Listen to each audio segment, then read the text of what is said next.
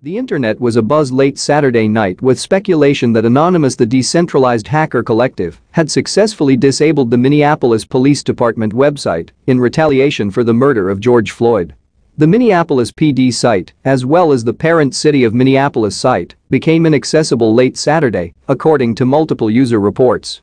By early Sunday, the sites were still experiencing access problems, sporadically requiring visitors to enter CAPTCHAs, verifying they weren't bots in a front-end hosted by internet security firm Cloudflare, a signal the sites were experiencing a distributed denial of service DOS attack designed to render an internet service unusable by flooding it with bogus traffic. A separate site for the Minneapolis Police Department, insidempd.com, appears to be unaffected.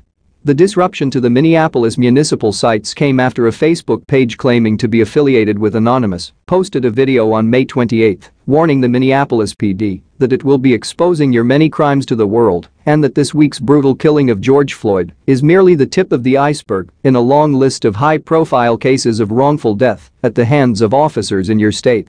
The video, which has been viewed over 1.8 million times, features a figure wearing a Guy Fawkes mask and an electronically altered voiceover which are hallmarks of the group.the death of Floyd, who was killed May 25 while in the custody of Minneapolis PD, has ignited nationwide protests and rioting.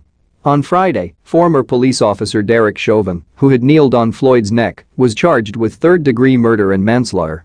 The chatter about Anonymous is apparently surfacing after three years of inactivity to join the Black Lives Matter protest after Floyd's murder, also led Mr. Robot USA Network's dystopian hacker drama starring Rami Malek to become a top trending topic on Twitter in the US through early Sunday.